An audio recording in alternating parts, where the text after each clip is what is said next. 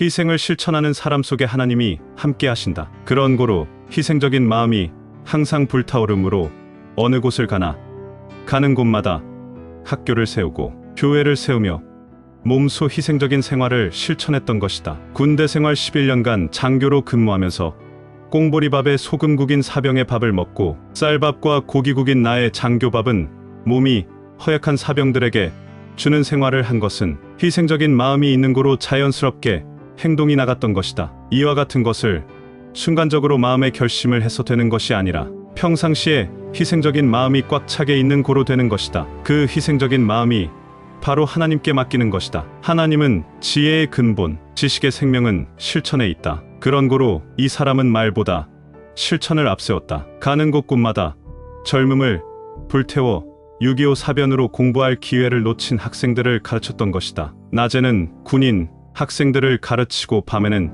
민간인, 학생들을 자정이 넘도록 가르쳤다. 아무리 젊은 나이지만 매일 가르치다 보니 코피를 쏟고 폐병도 걸렸던 것이었다. 어느 땐가는 수업 시간에 펑펑 코피를 쏟으니 수업 받던 300여 명의 학생들이 모두 눈물을 흘리며 대성통곡을 하며 울었다. 마침 그 같은 일을 목격한 주한 미팔군 사령부 공병대 고문관인 메이저 존이라는 사람도 복받친 감동의 눈물을 같이 흘렸다. 수업을 끝마치자 그가 당신의 소원이 무엇인가 하고 물어왔던 것이다. 나의 소원은 오직 이 학생들에게 공부할 교실을 지어주는 것입니다. 라고 말하니 그는 더욱 감격하여 미팔군 사령부에 즉시 상신하여 학교 교실을 지어준 것이 오늘의 일동중 고등학교이다. 또한 양주의 상수중학교, 금마의 익산중 고등학교, 동두천의 농축기수학교, 광주의 상명중 고등학교, 대구의 상명중 고등학교,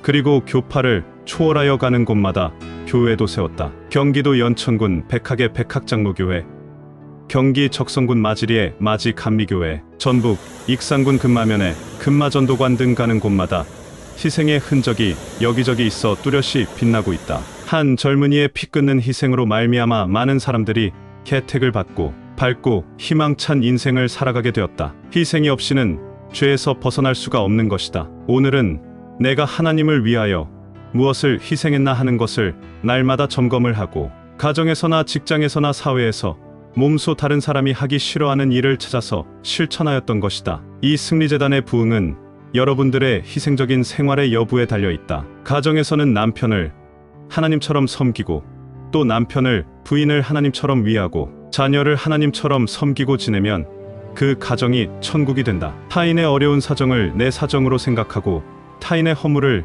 내 허물로 여기고 형제의 죄를 내 죄로 여기면 죄를 지을래야 지을 수 없는 것이다. 이것이 희생의 영이요.